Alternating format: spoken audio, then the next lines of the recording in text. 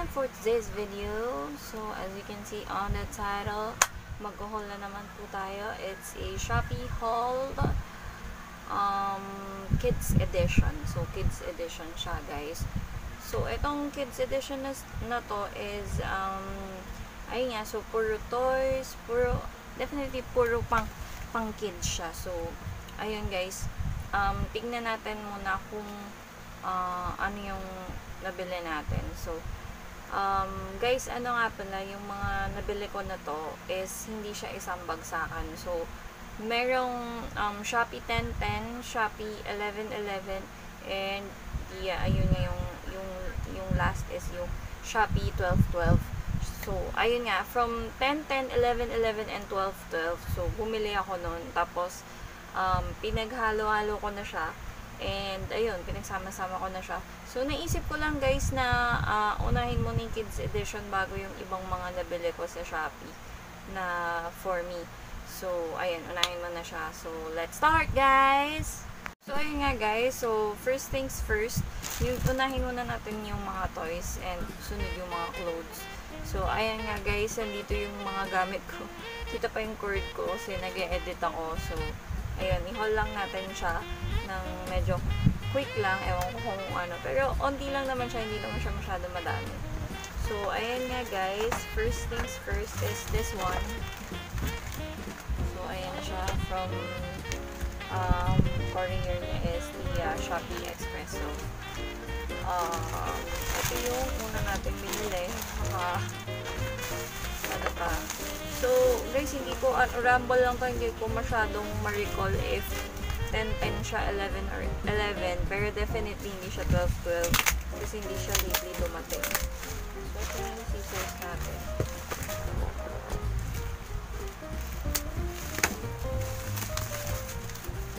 Ito ay para kay kulit.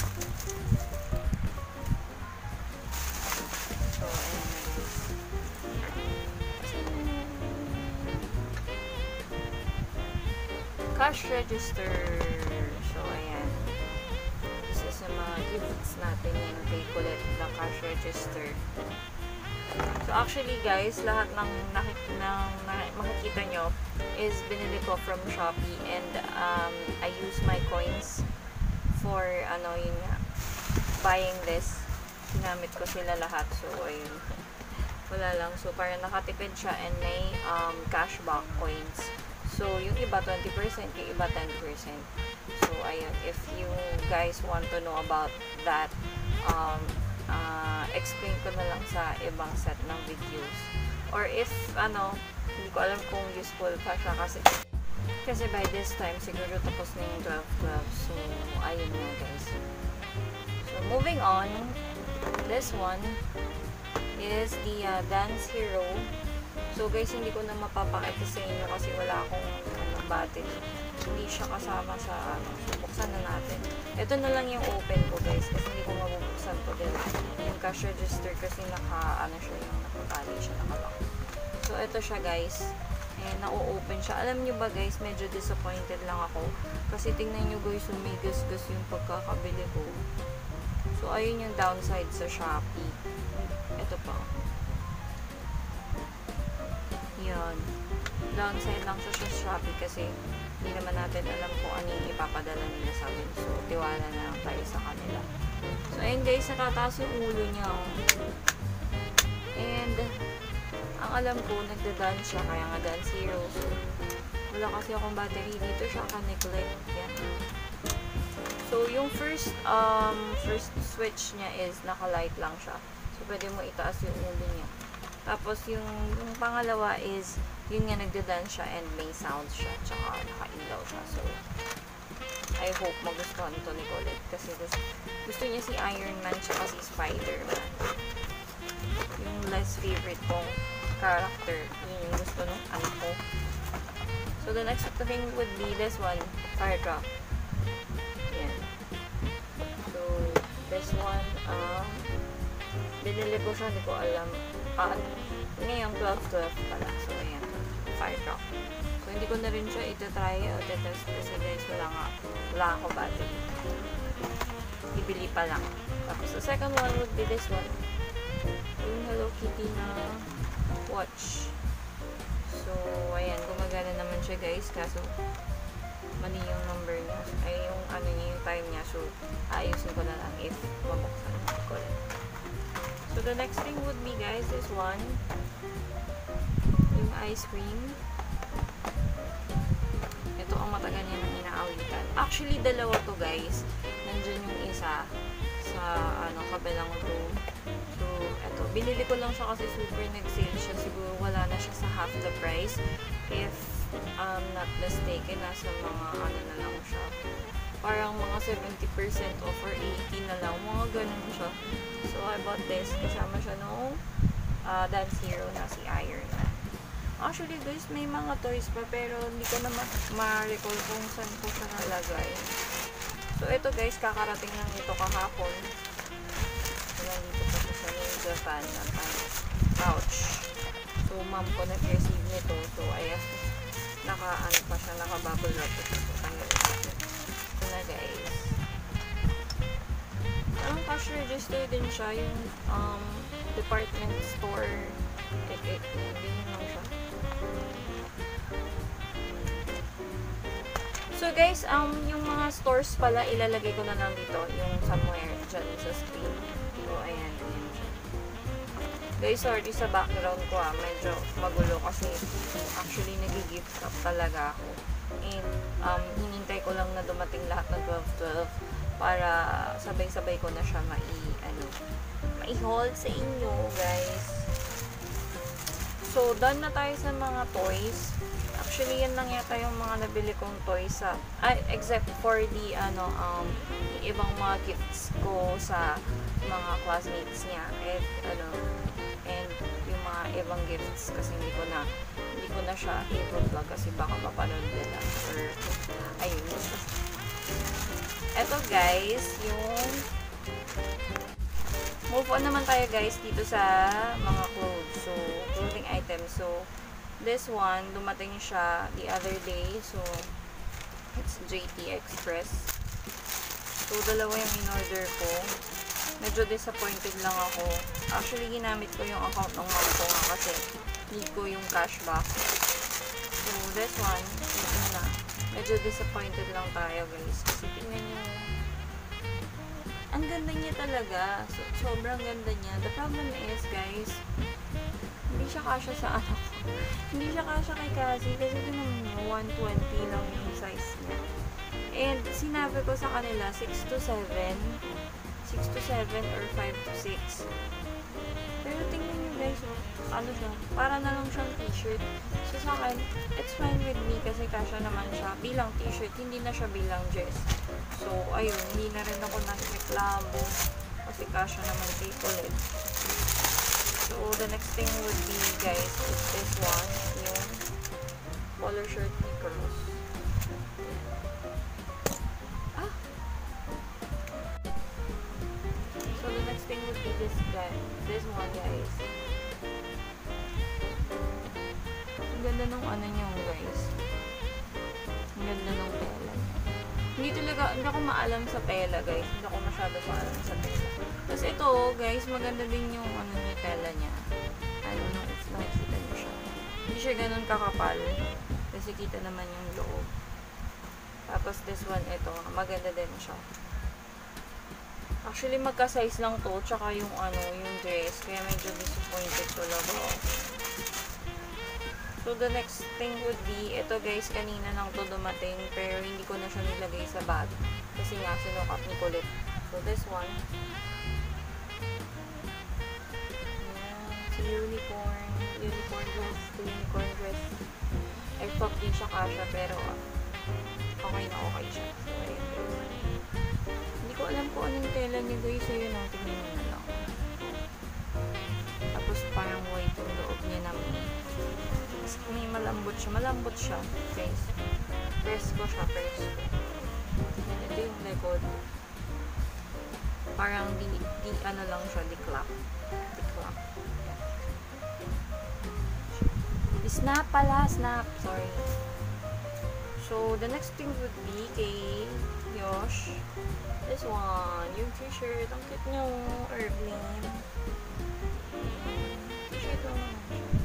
Parang naging lace ko guys. Pareho siyang blue.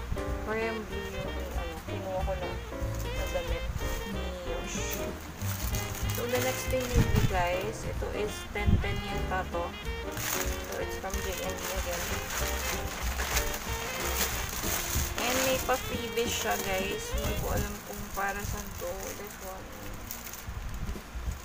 Parang dinidikit yun sa wall. I think. So, thank you kasi may pa- pa-freebies siya. Tapos, next thing would be this one. Yung t-shirt. So, t-shirt lang naman siya. So, hindi ko na siya open. Tapos, ito yung kay, ito yung Cassie. Ito yung uh, Spider-Man. So, t-shirt lang siya. So, next thing would be itong Disney Ganda. Ayan. Nakakarating lang kahapon. Kahapon lang ito dumating, guys. Ay, lang natin.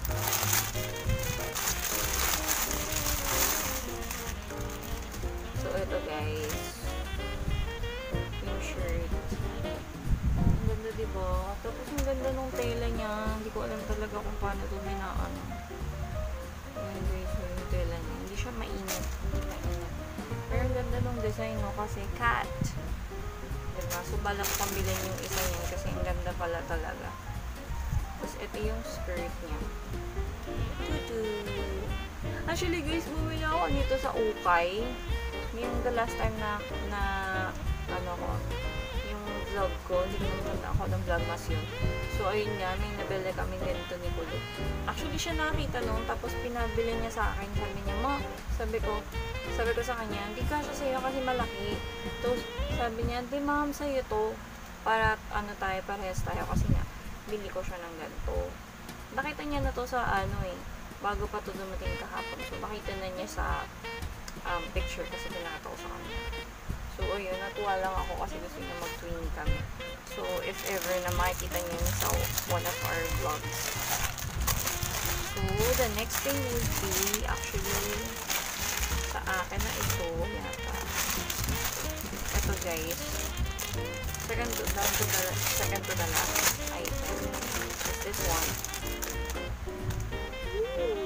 Actually, guys, dalawa yung color nito. Dalawa yung color nito, guys. Ito yung tela niya, hindi ko talaga. Yan. First ko din siya sa katawan. So, dalawa yung color nito. Yung isa pink. Na out of stock ako nung o-ordering ko na siya. So, baka ordering ko siya ulit. Yung pink nito. Kasi ang ganda ng fit nito sa kanya. Tapos, alam niyo ba, tinry niya to dito sa white na shirt na to. So, bagay siya. So, maghahanap ako ng white shirt na pwede ma-insert sa loob. Kasi, ang ganda lang talaga ng fitting.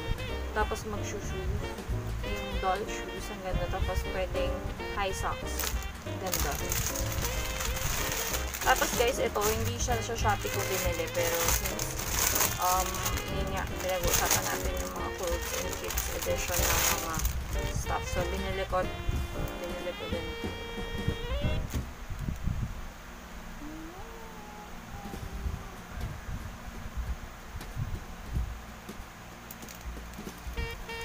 I got this one guys for 300 pesos. Yun. So guys, hindi ko nasabi yung price. So ito eh 150, 130. Something like that. Pero na nakuha ko siya ng 80 kasi nga sa points. Tapos this one is um 250 roughly. Mga ganun. Hindi ko na masyado na-record. Kasama yung phone ko. Yan, kasama niya to. Tapos this one guys is only 50 pesos yata kasi nga nakasale siya ng 11.11 ata if I'm not mistaken. Tapos ito is 115 150 parang ganun. Basta nag-range lang siya sa 100 yung shirt. Tapos this one is 200 um 30 230 yata I think. And this one is 150 I think. Basta mga ganun lang. Tapos ito is ito ang medyo um, medyo mahal siya pero yun nga na disappoint ako kasi nga ano siya maliit so this one is cost less than na 200 pesos so mga 187 pesos yata siya hindi ko hindi ko siya masyado matandaan so ayun 187 so sayang pero Since kasha naman, okay na din. Hindi naman na din siya sayang. Pwede siyang gawing t-shirt. So, this one, ito yung sustain ko ulit sa Christmas party niya. Sabi niya sa akin, ito daw. Akala ko yung unicorn. So, yun yung babalutin ko for gift niya nga. Tapos, ito yung is um pang Christmas party niya. So, ayun nga guys. That's it. So, the next thing would be, guys, is this one. So, overseas siya. I bought this one, 10, 10, 10. Shopee 10, 10 yata. So, actually, guys, same lang naman siya. Same. Same lang yung style niya. So, open na lang natin yung white one. So, overseas shop ko siya binili, guys.